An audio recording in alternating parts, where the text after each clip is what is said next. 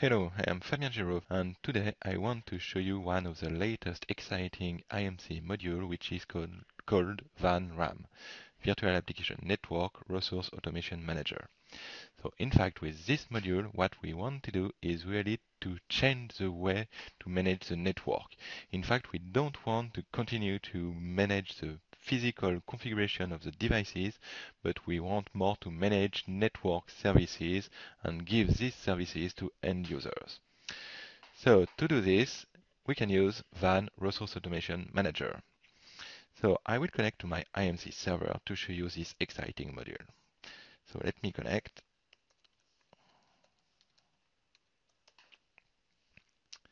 Okay, so VAN Resource Automation Manager is under the Service tab and Resource Automation Manager. So when I click on Quick Start, you will see the different steps to configure your resource automation management. So you can see first, define your network model. I will explain. Two, define your network. Three, define your zones. Four, define your tenant. Five, define some service model. Six, put in place a service catalog, and finally, seven deploy services. So let's begin. So the first step in RAM if, is to import the devices on which you want to orchestrate your network configuration. So in my example, this is a very simple example, I imported three different switches and one server. But just remember that it is not only for switches. With RAM, you can also automate the deployment to, of course, switches, routers, load balancers, firewalls, and so on. So here is my zones with my is my network, sorry, with my devices. Second step is to define some network zone. So for example, with these three devices, I define a zone which is called my ETSS zone. So let's show you the configuration. So in this zone, I put three parts, campus distribution, campus core, and data center, with one switch in campus distribution, one switch in, in campus core, and one switch on the server in the data center. Okay. And also here I define the endpoint connection where my users will be, my end users will be connected at the end. So here you can see a specific icon, a cloud in fact, and if I select this, you will see the endpoint connection list. So it is on this device and I selected these three specific ports. Okay, this is the second step. After that, I define a kind of network service. So you can see this here. And if I select this, I click on modify. So in fact, I added a um, service I called mail, Lync, and global LAN access. So in fact, with this network service, I want to give access first to the LAN, of course, and then to the Lync server and to the email servers to some new users. So to do this, in fact, I put the same three different parts, distribution, campus distribution, campus core, and data center. And in each part, I put some kind of virtual devices in order to put templates on these devices. So for example, I added a switch in the campus distribution, another switch in the campus core, and in the data center, one switch and one server. And for this kind of virtual switch, I made some configuration. For example, here, if I click on configure, I can see that first, on this kind of device in the campus distribu distribution, I want first to create a VLAN, VLAN 10. And then I want also to, on the port, allow VLAN 10 on the trunk, of course, and also I want to put some QS here for my links specific application, Lync and exchange. So you can see TCP 25587 and TCP 389. And some specific commit trait, which is this one. This is a very simple example. And also on the other devices, I put some ACL, some VLAN configuration on the port, so always permit VLAN 10. And for example, here I want to prevent my end users to connect to my loopback network, which is this one. So destination IP is my loopback network, and source IP is my endpoint connection IP. These are parameters automatically filled in by IMC. And on the final switch here, I put also some ACL on this port, configure, for example, here to allow the traffic from my endpoint connection. So by default, I prevent every, every connection on my Lync server except for my clients. So this is why I added this kind of rules in my ACL. Okay, so now I have configured my physical network zone and my kind of virtual service model. So now I have a service catalog here you can see and I can select in the service catalog in the service catalog the network service I want to give to my users. So to do this before I need to define some tenant which are really my users and to associate these users to the endpoint connection. For example, I have a new support team coming to my company and I know they will be connected on the endpoint connection I defined in the first step. So I associated this support team to my connection point here. You can see here support. So this is the con endpoint connection I first defined. So now let's go to the service catalog to show you the result. So if I select click here, so first I will ping one of my client, which IP address should be at the end this one. So presently this shouldn't work. Yes, it's okay.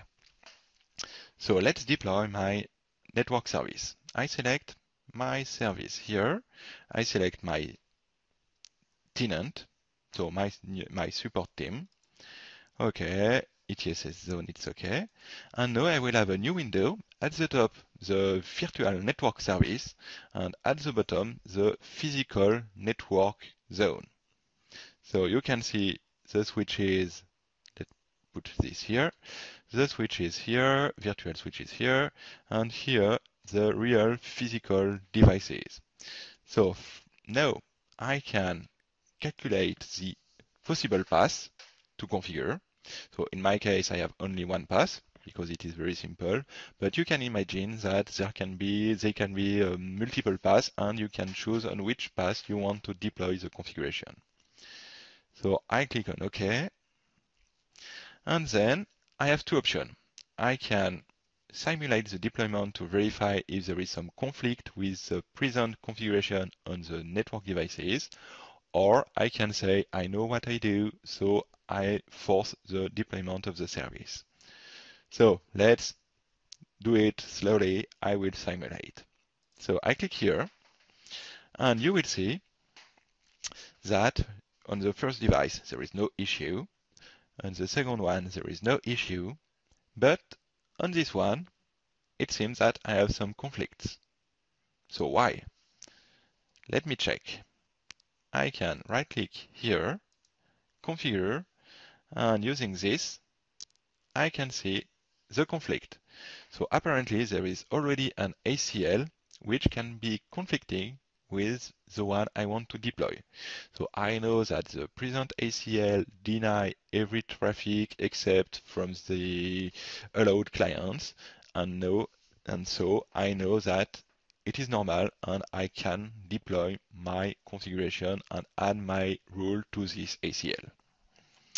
So I can close this one. And now I can select the deploy service. I will put a name, for example, my test of today. I want to do it immediately, so I don't need to check conflict because it is down and I know there are some normal conflict and put an end for the lease, let's say next week. I click on OK and now my network service will be deployed.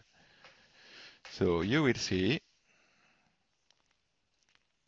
in a few seconds that the network service should be deployed successfully. Yes, deployed success. So let me check. Yes, my client is now accessible. I can, for example, connect through RDP to it and verify I have access to my Lync server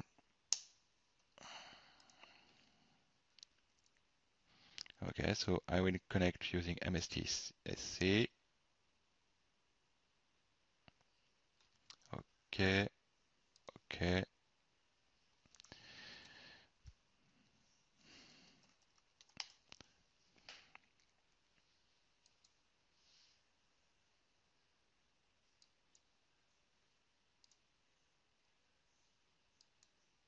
Okay, and let me try to ping my Lync server to verify that I have access. Okay, so my uh, Lync server is 10.10 152 108. Let me check. So you can see that from this client, I have access to my Lync server, but since my computer here is not allowed, you will see that from this one, I don't have access. So the ACL is also well applied on the final switch. And just to show you how many command lines you don't you didn't have to enter to configure this network service, you can check here if you click here and verify the deployment details, you will be able to see all the different steps, configuration steps made by IMC. And then if I verify here, I have some details. And moreover, for example, if I check here, you can see all the command lines which you should have to enter to configure only this ACL. So instead of perhaps 40 or 50 command lines, you only had to make, I think, three or four clicks. So this is really new and really, really useful for you, for the network administration. And finally, just to finish with this, there are also some performance monitoring specific with this module. For example, you can view directly the different performance uh, monitoring for the different tenants. So global for all the tenants here. Okay. And after that, if I select, for example, my support team, I can see the bandwidth usage of my support team, these kind of things directly from here. I didn't click. Yeah. Okay, so I can see the lead status, okay, tenant bandwidth, top 5 bandwidth usage, and so on. And also for performance monitoring, directly from the deployed service, you can easily configure, if you have the SHM module, you can easily configure a new SLA for this service. In fact, here you have a direct link to configure SLA. So automatically the network devices are added to the SLA. And so you just have to select the uh, indexes you want to, mon to monitor, the KPI you want to monitor. For example, CPU usage, interface performance, and so on. And after that, you can select the devices on which you want to monitor these indexes. OK. And the same for performance on interfaces. And automatically, the SLA will be added. Just to show you the result, I uh, already did it in the past on this one. And so I can show you the result by clicking here. So let's see, for example, monthly SLA. And so you can see all the days on which it was excellent, days I have no data. And also for each uh, index, KQI, I can see the corresponding value. Okay. And for example, I have some good example here with mean time to repair, mean time before failure, and so on. In terms of response time, you can see I have some bad index here and so on with the evaluation map with average, minimum, maximum and the else here. Okay, so I hope you enjoy this uh, demonstration and so I really want to thank you for your attention and hope you see you soon in some new videos. Bye bye.